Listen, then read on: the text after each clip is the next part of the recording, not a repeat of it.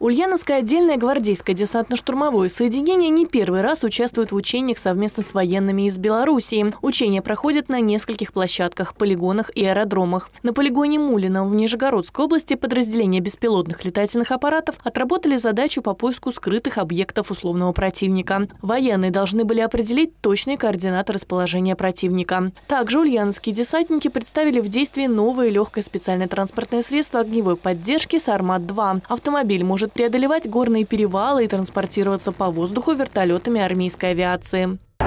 Легкое специальное транспортное средство «Сармат-2» предназначено для монтажа различных вооружений, перевозки личного состава в количестве 4 человек, автомобиль капотной компоновки с колесной формулой 4 на 4 с межколесным и межосевым дифференциалом.